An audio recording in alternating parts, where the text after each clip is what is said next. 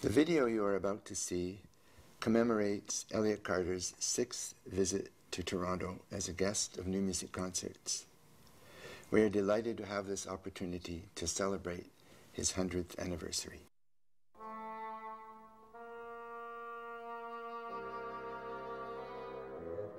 In all the years I've known Elliott, not once has he complained about the metric relationship between one tempo and the other one.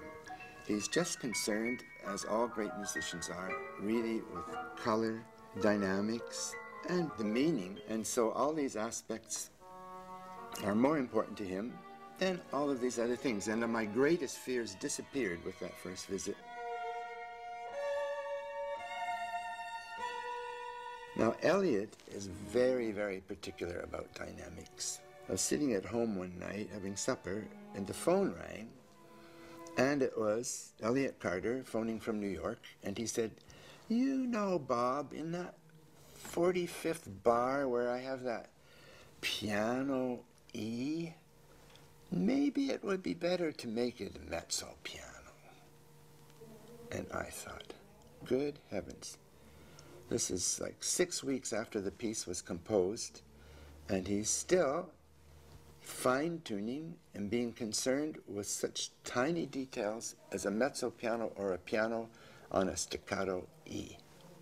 This is the kind of man he is, extremely concerned with the finest, finest things, and he knows the instruments very well. The challenges of performing Carter is the same as performing all great composers, as one needs to find exactly the right color, dynamic, and shaping of the phrase for the performance to succeed.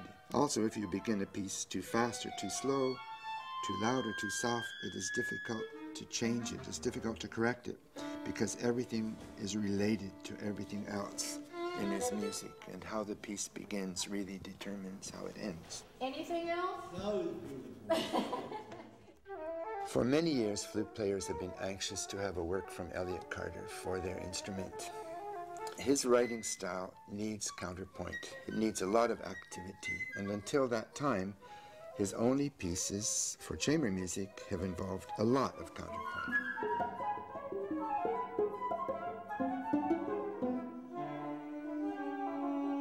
Well, I was uh, in Europe teaching where I have been for the last few years, and he phoned me up and asked if I'd like to join them for supper, which I did. We uh, talked again about possibility of writing a piece for flute, and he was humming and hawing, and I explained to him, well, why don't you write the last movement for the Bach solo sonata?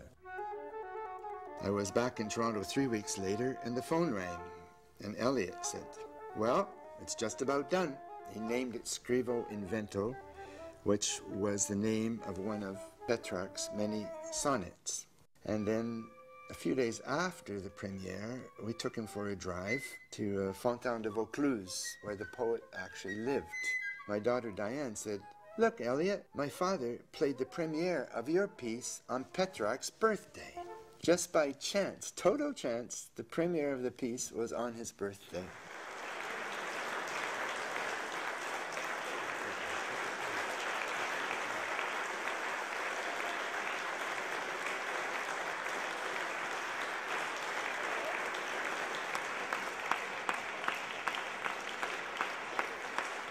Question about dialogues.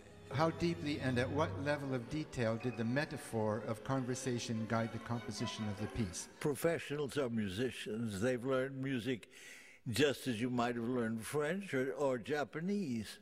There's always a conversation between composers and musicians just because of this this tra- professional training. It's just a matter of, of familiarity. You know, I used to speak Greek, but i have forgotten it. but I don't forget music. You do read a lot, and you have a great knowledge of literature. Uh, and you have many titles and many pieces which relate to literature. And how does the influence of these books, these poems, and so on actually transmit into your creative process? I think in, in every case, it's every, every one of the things you might ask me about in, the, in, in this list of pieces is done in a different way. The concerto for orchestra, for instance, was based, based had a relationship with the, the, the French poem Winds of, of, of Saint Jean Perse. Then I thought, well, you know, this is so much like what I'm writing. I would use I would shape the piece a little bit as those poem the poem goes, but the the idea for the piece was there before the the poem. I wrote a piece for Oliver Knussen called OK, which of course is his capital, uh, ca- capital uh, his what he called acronym, OC, OK, I mean.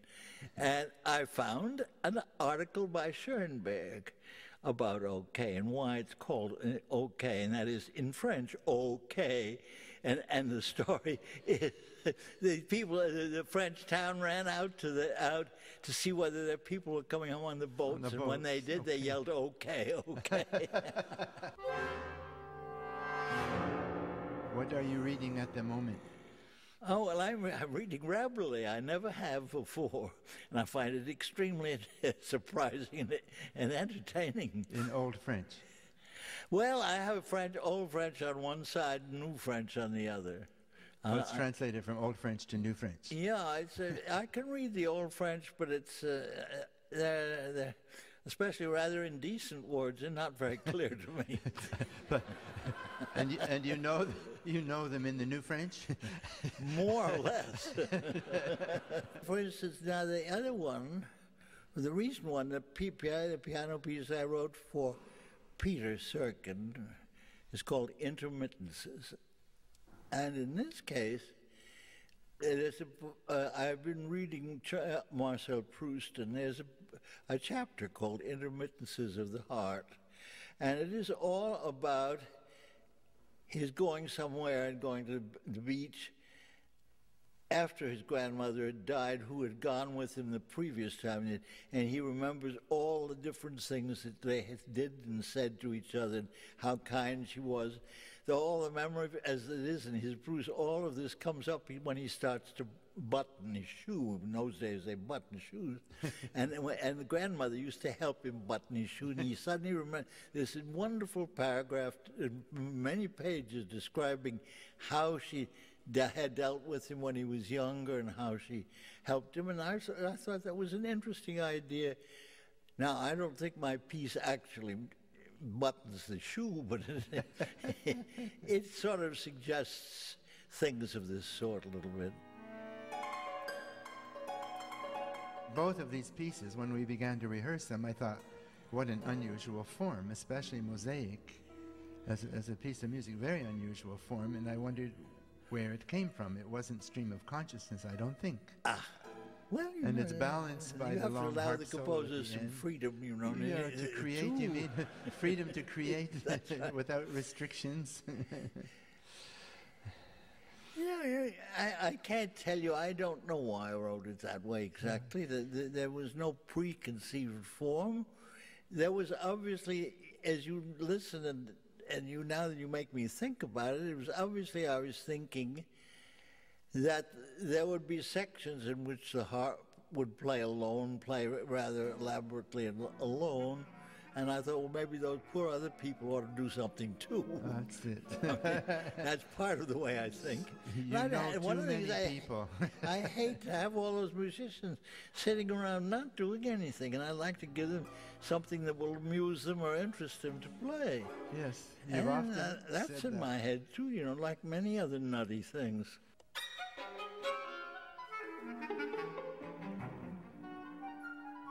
Mosaic seems to be a work of naturalist abstraction. Was there, in fact, a direction from nature in this piece?